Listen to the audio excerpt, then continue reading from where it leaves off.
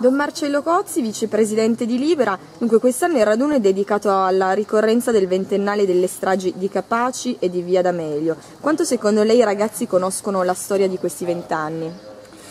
Ma il problema non penso che sia questo, nel senso che i ragazzi conoscono la storia di questi vent'anni eh, conoscendo probabilmente una parte di questa storia, la parte quella più eclatante, quella più visibile, quella fatta di bombe, di stragi, di sangue. Forse non conoscono, ma d'altronde non solo i ragazzi, ma anche tutti quanti gli altri, non conoscono l'altra parte, quella di cui nessuno ci ha parlato, che poi è anche all'ordine del giorno eh, in questi ultimi tempi, è la parte quella eh, quel fiume carsico che è scorso in questi anni e che ancora deve uscire fuori e deve farci sapere tutta la verità su quello che è accaduto.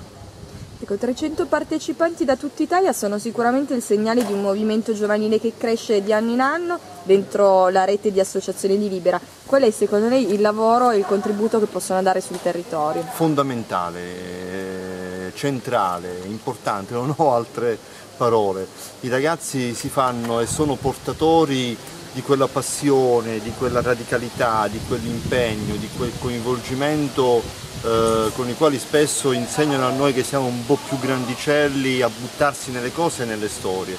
Abbiamo bisogno di questa loro passione, anche di questa capacità loro di vedere quegli orizzonti che noi non riusciamo a vedere per portare avanti questo impegno nel quale tutti quanti noi dobbiamo sentirci coinvolti, ma abbiamo bisogno di questo calcio che i ragazzi, che i giovani ci danno tutti i giorni, con questa capacità che hanno, ripeto, loro di buttarsi nelle avventure meravigliose come l'avventura di Libera.